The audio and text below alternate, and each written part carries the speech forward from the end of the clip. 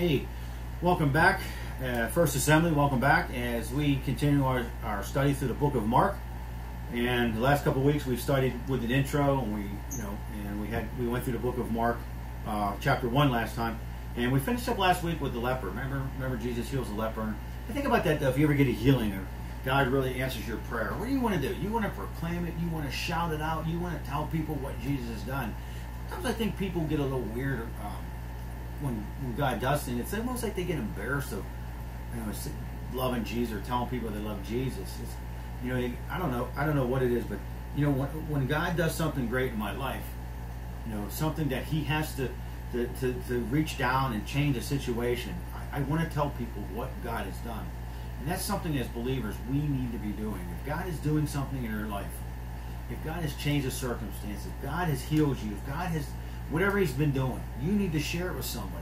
I'm not talking about being overwhelming on people's lives, but you know, you can talk, have a one-on-one talk with somebody at a coffee shop, at McDonald's, or uh, Wendy's, or wherever, wherever it may be, and and you can just sit down and just talk to them and see how they're doing, and, and then say, you know what, this is what God's been doing in my life, and I just want to share with you. I don't want to push it on you. I know we can stand a little bit, and, and just and just tell you how much God truly loves you. And they may not say, you know what, God doesn't love me. I look at my situations, but as you begin to build relationship with people, you're able to to share God's love with them, and and and and they'll start to receive it. Because I love this next story in chapter two. It, it talks about the paralytic and four friends with great faith uh, go into a home. They tear up the roof. They drop this guy down in there on ropes, and Jesus heals him just like that. Imagine if that could happen today. I think it'd be great to see that. You know, sometimes I get so sad when I see those little kids on TV that have cancer, and you see these people who have maybe lost a, uh, an arm or a leg in the military, or you see people that are walking around and their, and their bodies are just just falling apart. And I know we live in a sinful world, but wouldn't it be great for Jesus to walk through it, or even God use us to say, go up and heal that man, or touch that man, or touch that woman? I think it's a great thing. So let's get in there because I'll just keep talking. Um, chapter 2, verse 1, it says, He returned to Capernaum after some days. It was reported that he was at a home. Now, some believe it. sometimes it was Peter's home. Uh, it, could, be somebody else, but most most most commentators believe it was Peter's home. And it says they were gathered there, and there was no room, uh, not even at the door. And he was preaching the word to them. And he, and came in, bringing to him a paralytic carried by four men. And they could not get near him because of the cry. They removed the roof above him, and they had made an opening, and so they let down the bed which the paralytic lay. Now think about this. Jesus is, has been doing some miracles, has been doing some things. Been preaching God's word, preaching the gospel to people, and great people. A lot of people started to uh, follow him because it's something new. Remember now, remember in the back of their minds, they were probably thinking of, the prophecies of the of the Messiah coming, and he was going to you know come in and come in and free the people, and and people were starting to hear this, and and they're, they're getting excited because he's doing some great things. And it says a, a large group of uh, four groups of men, great faith. Uh, and in Christ, take their crippled friend to see Jesus. And a lot of times we need to be doing the same thing. We may not be able to take a person physically to Jesus, um, but we can lift them up in prayer. We can we can kind of bust the roof down for them with fervent prayer to see God move in their situation, their lives. Because it says they couldn't even get into the front door, so they had to be an inventive way to find how to get up on the roof. Now listen, roofs today and roofs back then were a little bit different. Houses back then were a little different, and people used to use their roof for for uh, for, for, parties. Let's be honest, parties up there, a lot of entertainment, uh, prayer, maybe some bathing, but it was quite easy to get to those roofs. Nowadays, you, if you look at our roofs, most of them are angled. I mean, you might find a few of them that are angled or flat, but most homes have all different kind of angle shapes on them. Um, back then, they were still sturdy, and they had to bust the roof up a little bit. But nowadays, you would need saws, you would need bars, you would need uh, hammers just to get out, and then you'd have to go into the attic, that whole lot, and then drop them down, depending on what floor they're on. But this is the faith that these guys had. You see, you know what? You know, the man on the map may not have had the faith, but the four guys did, and they knew if they said, "You know what? We'll take this guy to see Jesus," boom, it's done. And that's the way we need to be like that. You know, when you say, okay, God, here's my situation, here's my problem, I need you to help me and deal with it. And I think that, you know, even even in verse 5, which is kind of amazing, it said, Jesus saw their faith and said to the paralytic, Sons, or son, your sins are forgiven. It probably amazed him. Like, say what? You know, he was almost like, and then because you know when when Jesus said that, I believe the man felt the healing in his body. I believe he felt a lightness in his in his in his in his spirit. But as soon as Jesus spoke with that authority, boom. I believe that I believe that guy felt something, and that's why I believe he was amazed. I believe he was amazed because some of the scribes were sitting here saying, questioning in their hearts, why does this man speak like that? He's blaspheming. Who can forgive sins but God alone? Now, this is true. Now, in their own minds, they're thinking, wait a minute. In Jewish culture, it was blasphemous to put yourself in the same position of God. and, and only God can forgive sins. And, and Jesus Jesus was a smart man, smart. He knew. He said he knew what they were thinking. See, you and I, I can tell you, you're forgiven if something if you hurt me. And if I hurt you, you forgive me, or vice versa. You know what I mean? Um, but here they were saying, listen, um, when Jesus said, "Your sins are forgiven," he was spe- speaking for God in the Jewish mind. That was never a lie. That was never a lie. In verse 8 it says, Immediately Jesus perceived that in his spirit they were thus questioning within themselves and said, Why do you question these things in your heart? Which is easier to say to paralytic, Your sins are forgiven, or to say, Rise, take up your bed and walk. That was verse 9. Now, an American standpoint, Christian standpoint, let me ask you this question while you're at home. Um, what would be easier for you to say? Think about this. Your sins are forgiven, or rise up, or take up your pallet and walk, or rise up and walk. Which way would you have done it? What, what do you think is the best way? Now listen, there's no way to prove that their sins are forgiven unless I have the authority to say it, because the results are unseen. All right? First, you see a person with sin. 60 seconds later, it's like they're inviting Jesus in their, on their lives as Savior. Their sins are forgiven now and into eternity, but can we see the effects of it? Now, if you say this, I'll take door number two rise up and walk. There will be a definite noticeability effect to see if I have that authority, right? Because if I if, if I go up to someone and say your sins are forgiven, right? In the Jewish mind, dude, you're like you're wrong. Um, but here we know that Jesus had the authority because we look back at this, right? So if I pick door number two and I say rise up and walk, there better be, this person better get up off that mat or it shows that I don't have the authority. See, because this was kind of a trick question because in their minds, both were equally impossible to do. Do you understand why they were thinking this way? That this was not going to happen. And but it's interesting though to say if you say that your sins are forgiven and you, you just placed yourself in a position of God's position. You know? But Jesus we see has both authority in both realms. We'll, we'll just say the word realm. On earth realm, he has full authority. In heaven, he has full authority. He had full authority everywhere, to be honest with you. Um, but if I say something to them, if there's somebody that's crippled or handicapped, on, and, and I say, you know, your sins are forgiven, or I, I, don't have the authority. I can say, your sins are forgiven through Christ Jesus. Th- that's a different story. That if if I go up and I heal somebody, or some God, uh, God says, Mark, I want you to go and pray for that person, and they get healed, it wasn't because of me, it was because of Him working through me. Um, remember, we're His hands and feet. He could have done it on His own, but we're the ones that spread the gospel. We're the ones that live the lives for God. But if I can't, if the, if I go up and I pray, because a lot of times you got to be careful because you got these faith these faith healers on TV, and you got all these different people, and they're and they're and they're going down, and they want healed, and they go and they go back, and it's like they don't get healed, and it's like, oh man, God must be angry with me, or God's not real. You know, and, and it's sad sometimes, even when you watch TV, you see these kids that have cancer, and you see these people that, like the military guy, people come back and they're missing arms and legs, and you know, you're like, there's days I want to go up and say, you know, grab that, grab someone and, and see their leg appear, see their arm appear, see those kids yeah, cancer free. But here we see, because I don't want to go too much on my own soapbox, but or on a rabbit trail, but Jesus goes up and he tells them, "Listen, your sins are your sins are forgiven. Take your pallet and walk." He tells them both. He's telling the people on the earth. He's telling the people in them crowds because there's there's probably a lot of people who says, "Listen, I have authority in heaven and I have authority on earth." And I'm telling you, I can do things in the supernatural and I can do things in the natural. And that's what he was trying. That's what he was saying right here.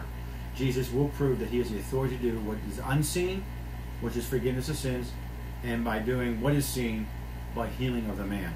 So if he can heal the man, we know that then he has the authority to forgive people's sins. Verse 10 says, But that you may know that the Son of Man has authority on earth to forgive sins, he said to the paralytic, Take, I say to you, rise, pick up your bed and walk and go home. And he rose immediately and picked up his bed and he went out before them all. And they were all amazed and glorified God, saying, We never saw anything like this. Now imagine the crowds of people who just watched this. Imagine like you see all these people on TV destroying properties. Now imagine that many people going and seeing and watching what God had did. Watching that there was a forgiveness. Now listen, we don't think like Old Testament Jews. We have been raised in a New Testament understanding. And we ask for forgiveness. We express forgiveness. That's who we are. That's what Christ has asked us to do. You know, we can we can we could pronounce forgiveness of sins through the Scripture and the finished work of the cross of Christ. When we become believers, the Scripture tells us that we are forgiven through Christ, and that we can tell new believers that they are forgiven through Christ. Nothing that we've done, everything that He has done. We can proclaim the gospel to Jesus of, of Jesus Christ. You know, Acts 13, 38 says, Let it be known, therefore, brothers, that through this man forgiveness of sins is proclaimed to you. And verse 39 says, And by him everyone who believes is freed from everything from which you could not be freed by the law of Moses. We can speak with authority of God's word to people. And there is a great joy seeing new believers who are saved. There's a freedom that comes. But it's nothing that we have done. You know, we see their freedom by the way they live their lives and how they are. Amen. So we learn from this one that there was some people had some great faith. We know that Jesus walks in authority here in heaven and here on earth. And know, we continually know that there's skeptics and people who are trying to, to cause issues with Jesus and the gospel being spread. And he, the next section will be uh, chapter or verse 13 through 15 it says, and uh, Jesus calls Levi and he says, went out again besides the sea, and the crowds was coming to him, and he was teaching them. Now sometimes let's stop real quick.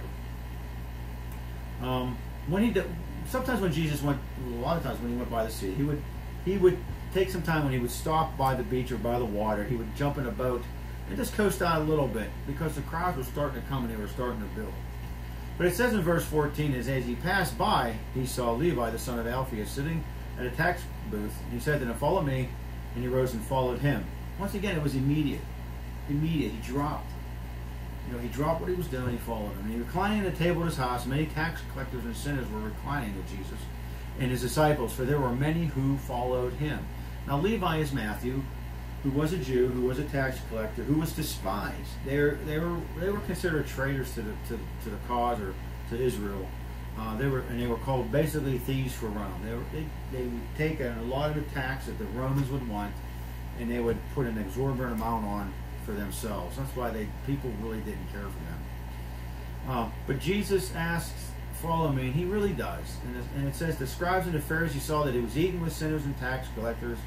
Said to his disciples, "Why does he eat with tax collectors and sinners?" Now, a lot of times, we even when we think about that, we were brought up in the church that you're supposed to separate yourself from the world, and, and, and that is a truth. That is a truth. We are to be different from the world. You know, when you read the book of Leviticus, when God was speaking directly to the Jew, kind of lays some different things on how, where, what you're supposed to do. But you're not supposed to look like the world. You're not supposed to be of the world. You're supposed to be in. We're in this world, but we're not supposed to be. Um, we're not supposed to be, you know, aligned with this world. You know what I mean? We're not supposed to be rec- um, recognized as the world, but um, we need to stand out from that but not being so obnoxious. But you know, let me ask you this: How many people do you know that that that maybe you invite to your home, or maybe you go out to lunch or dinner with, or you socialize with, that don't know Jesus? And you know, I can see Jesus saying, "Listen," and we're going to talk about this in a minute. But he came, to not call the righteous but the sinners. And, and that, how are we supposed to preach the gospel to them? How are we supposed to love them? How are we supposed to reach them if we can't build a relationship with people? He's not saying do the things they do. You know, if I go to a restaurant like Olive Garden, Olive Garden is an Italian restaurant, they have wine, they have alcohol. I don't go there to drink the alcohol, but I go there to eat the spaghetti. But I get to talk to the people that are on me in that place, that who even the waiter or the waitress that maybe don't know Christ, and I get to you know build build a relationship with them. That's what he's that's what he's doing here, you know. And and and you think about this is that you know it says in verse 17, and Jesus heard and he said to them, Those who um, who are well have no need for a physician, but those who are sick. I came not to call the righteous, but the sinners. Listen, Jesus doesn't give excuse for the behavior of those he's who's eating with, and I don't get, make I don't make an excuse for people eating with. Listen, it, it, that's their choice, that's their life, and it's not right. You know, but I'm, you know, if if we keep trying to usurp the Holy Spirit's job, how's He ever going to do it? Remember, He brings life and hope and encouragement. Listen, we know it's not healthy to drink alcohol. We know it's not healthy to smoke. But if we keep on beating on someone's head, you're going to get cancer, you're going to die and go to hell, he's never going to want to receive Christ. All he gets is this guy is this judgmental God who wants to send him to hell. But Jesus, Jesus, um, he made it clear, you know, they were sick and they were they weren't well. Uh, Jesus' mission was to rescue the lost. You know, there, there's going to be people that we're going to come across. These people uh, reject the call of the cross, but they need to repent. And they, and you know, and and some of these people, the religious leaders, they felt that they kept the law of Moses, and they were so self-righteous. They were right. They didn't need anything else. They felt they need need forgiveness. And and Jesus is trying to reach them. And Jesus is trying to reach everybody. Listen, Jesus says, I am talking to those who know that they are sinners and they understand that. The heathen, it's, it's almost like the heathen is easier to reach. This is true. The heathen seems like it's easier to reach than a religious leader because they feel like the religious leaders feel like they got it all together. They have it all. Did you ever meet those kind of people? That, that they think that, well, they, they, they walk around like they have it all together, but deep and down inside, they're broken down and they're crying. They need help, but they're too prideful to come on and ask for help. They're too prideful. But here you see, Jesus saying, listen, these people are easy to reach because you're so self-righteous in yourself. You're so prideful and arrogant. And, and, and he's saying, listen, I came to help these people. I came to break through that, that mindset. I came to help them to, to know who, what the truth is.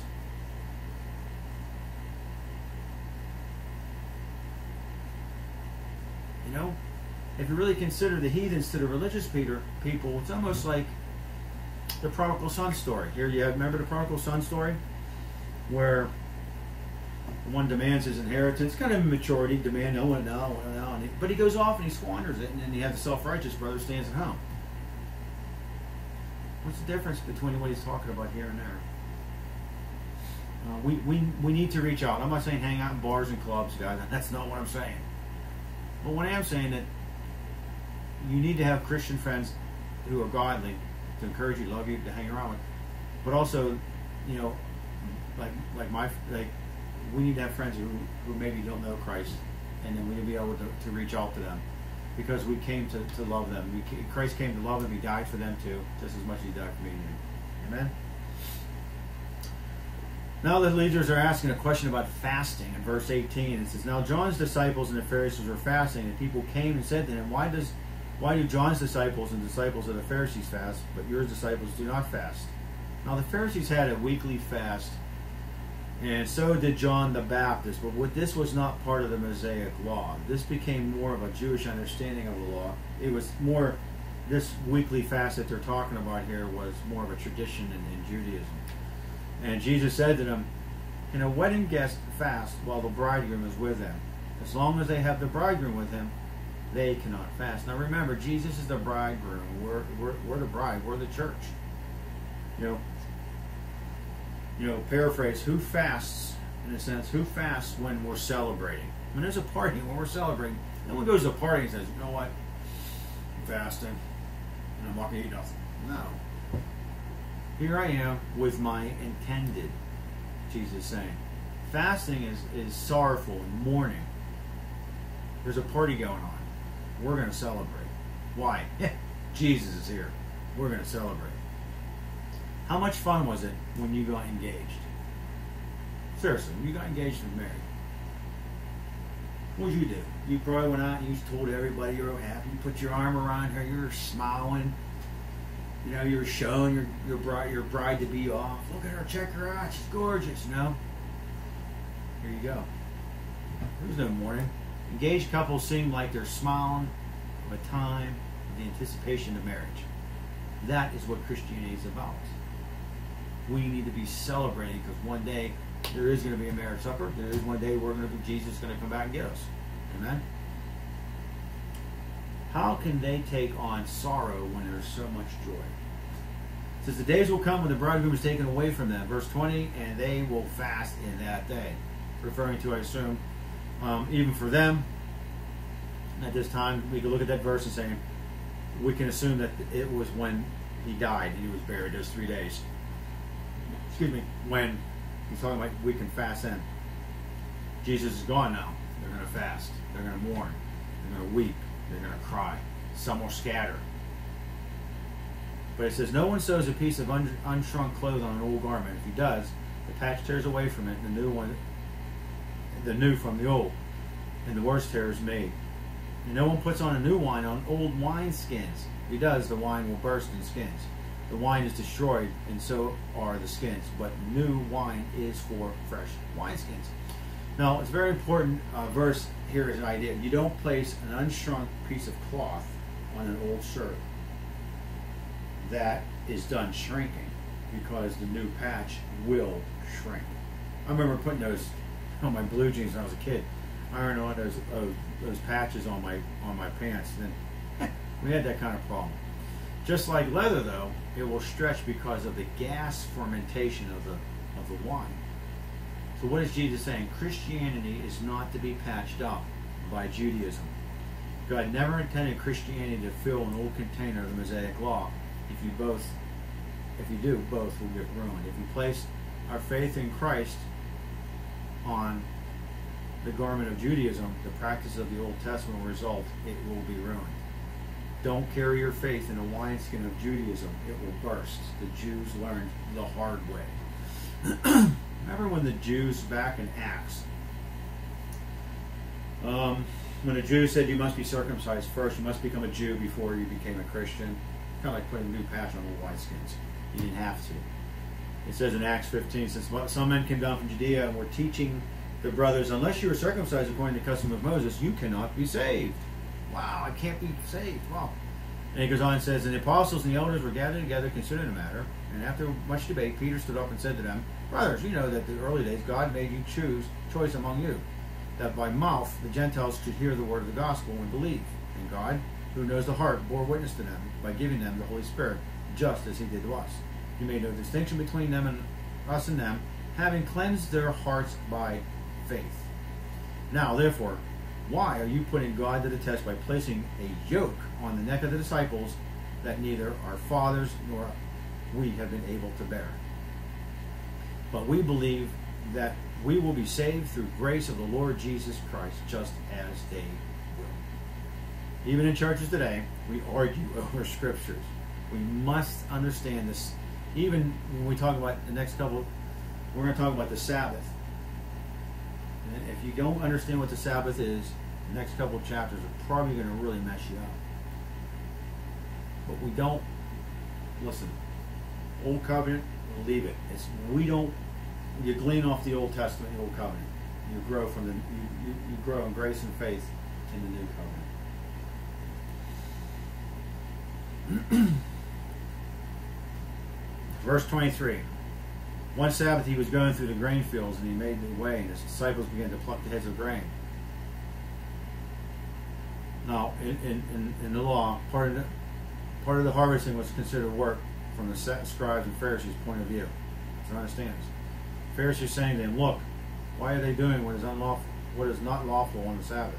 He said to them, Have you not read what David did when he was in need of hungry? he and those who were with him, how he entered the house of God in the time of Abiathar, the high priest, and ate the bread eh, of the presence, which is not lawful for any but the priest to eat.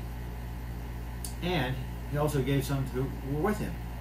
He said to them, The Sabbath was made for man, not man for the Sabbath. So the Son of Man will be Lord even of the Sabbath. Before David was king and he served on his king's Saul, he ate some grain alongside of his men. Listen, Sabbath, listen, human need should take precedent over ceremonial law. That's what he's trying to say to them. The need outweighed the law over the law. The Sabbath was to serve the people, not the, the people to serve the Sabbath. It became a heavy burden instead of a day of refreshing. The Sabbath for us is a time we celebrate. We just we bask in God's presence. Now, it's good to take a day off of work. It is. Work six days, take one day off. But for new day, new Christians, listen. For us as new believers or believers in Christ, your Sabbath should be every day.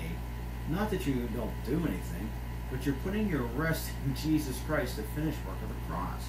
See, in Exodus it says this in verse 31, 12 through 17. and the Lord said to Moses, You to speak to the people of Israel, say, Above all, you shall keep my Sabbaths, for the sign between me and you throughout your generations, that you may know that I am the Lord, sanctify you. You shall keep the Sabbath because it is holy to you. Everyone who profanes it shall be put to death. Whoever does any work on it, that soul shall be cut off among his people. Six days shall be done, or six days, or six days shall work be done. But the seventh day is a Sabbath of solemn rest, holy to the Lord. Whoever does the work on the Sabbath shall be put to death. Therefore, the people of Israel shall be keep the Sabbath, observing the Sabbath throughout the generations, as a covenant forever. A sign ever between me and the people of Israel. In the six days the Lord made the heaven and earth, and the seventh day he rested. He was refreshed. Who was God talking to? Right? The people of Israel. A covenant with God. There are many people taught today that the body of Christ took over Israel, um, spiritual Israel, as an assumption. That is an assumption made. Uh, they call it the replacement theology. It's a wrong theology. That's something I do not believe. We are, we are, we are a family. We are Jew and Gentile. That's what Paul was saying in the New Testament. We are children of God, not under the Mosaic law. Um, take a day for rest, not for legalism, but for wisdom. And that's what I meant earlier. We need to be we need to be in a place with every day that we rest in the finished work of the cross. And yes, take a day off from work, relax, do what God has done. But don't make it legalistic. I know churches nowadays that said you have to have church on Saturday, and that's it. It's like that's what he was trying to say. No, you, you don't. You can have church any day of the week. Because Galatians 3 says this, verse 27 through 29. For as many of you were baptized in Christ, having put on Christ, neither, there is neither Jew nor Greek, slave or free, male or female, you are all one in Christ Jesus.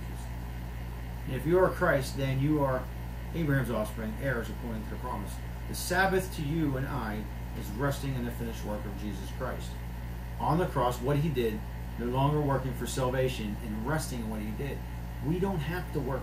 Mean, we don't. We can't earn salvation. It was given to us, and we need to rest in the fact that Jesus took care of it and have that faith and peace. Hebrews 4, 8 through 11 says this For if Joshua had given him rest, God would not have spoken another day long, or another day later on. So then there remains a Sabbath rest for the God for the people of God. For whoever has entered God's rest has, has rested from his works as God did from his. Let us therefore strive to enter that rest, so that no one may fall by the same source of disobedience. Rest in the salvation that Christ offered freely. Take it and enjoy what he did. Faith in Jesus, plain and simple. Rest in Christ. You know, we, we, we think about some of the things that, you know, even this, there are a lot of people, they, in the, in, in the Old Testament, even with tithing, I think I mentioned this before. with tithing, everybody says, well, I give my 10%. that's great. But in the New Testament, God wants everything. He wants everything. And in the Old Testament, wasn't like 10% of your pay. It was, you gave a lot more than what you did. And you know, the sad part about Christianity is sometimes you have to watch because some people pick some stuff from the Old Testament and they live by it, and some people from the they, and they pick something from the New Testament. Uh, you need to pick the whole Bible up and read it, and, and it's one book. It's it's it's it's one complete book. Um, many different authors, many different books, many different chapters. Uh, read as one book, where God spoke to the to the to the Jew in the Old Testament and gave him strict orders, and that was for the Jew to follow. Whereas we see the New Testament, the coming of the Messiah, which the Old Testament prophesied. You know, they didn't accept Jesus. Hey, we did. We look back at this. You know, we, we can look back as, as we read, but you know, we need to be careful that we don't tie on legalistic things. You know, as long as we do this, that we're resting in this in the fact that Jesus Christ and what He did, that's only what we're trying to do for salvation too. Um, rest in the fact that Jesus, the finished work of the cross. Rest in the fact that Jesus did it. Rest in the fact that the, how we help is we can't help. All we can do is surrender our lives to Him and do what He's called us to do or asked us to do. And you know, they they wanted they, they, they wanted you to toe the line, but we could never, you could never fulfill the law. But Jesus did it. He did it for us. So we need to rest in that, have that. But our Sabbath is not just one day a week. Our Sabbath should be resting in Christ every day. And because there's people out there that, that, that are Christians who love Jesus who work Sundays. And if all we go around and say, well, you should be working on Sunday, we're, we're, we're really not preaching the gospel to them. We're speaking judgment. You know, we're speaking our opinion and not what the Word of God says. We need to be careful of that. Be careful by putting, trying to, to match up some of the Old Testament stuff with, with what they were doing. You know, hey, you got to become a Jew. You got to get circumcised. You know what I'm saying? And before you be, become before you become Christians, don't add stuff to, to what salvation is. Christ did it. It's all on Him. It's faith alone in Christ alone, by His grace and mercy. And when we think about people that Jesus calls, it doesn't matter what they look like or what they do for a living, who they are. Jesus will call people, even the tax collectors were evil, and thieves, and everything. You know, and I, I, think we need to be careful. Be careful before we, before we put a label on somebody. And even today we talked about how Jesus did miracles. Christ had the authority. It was only Christ's authority that he, he, he and as, as God continually opens door for us to minister to people out in the world, be in tune with what he's saying. If he goes up and says, hey, pray for that person we may not know what they need, but God may answer that prayer because you were faithful to go over and do it and able to share the gospel. Well, that's chapter 2 for you. Please study chapter 3 for next week. But like I said, we covered over a paralytic about God's authority, people of faith, people that bring hope, uh, telling God telling who I am or who He is. Uh, he's able to forgive here on earth and in heaven. He's got the authority here on earth and here in heaven. And then Jesus picks whoever He wants to pick whoever has a heart to serve him. And it says Matthew, he jumped, he jumped, whatever he was doing, he went with him. And by fasting, there, there is a proper time of fasting for us. There is a time. There is a time that we need to take some time and fast and pray. But the, what he was talking about here is listen, those guys have been partying with Jesus. They were hanging out with Jesus. And, I can't wait that it happens. That's an engagement kind of thing, like I mentioned earlier. When you got engaged, you were excited. You didn't start mourning over it, right? You were excited about the marriage. And so so should we be. And like I said, Jesus is the Lord of the Sabbath. Listen, rest in the fact and the finished work of Jesus Christ on the cross. That is your Sabbath rest. That's what you rest in. Knowing that there's nothing you can ever do to earn your salvation that is freely given to you. And then, honestly, if you want to look at the Old Testament, grab a hold of one day and say, you know what, take a day off.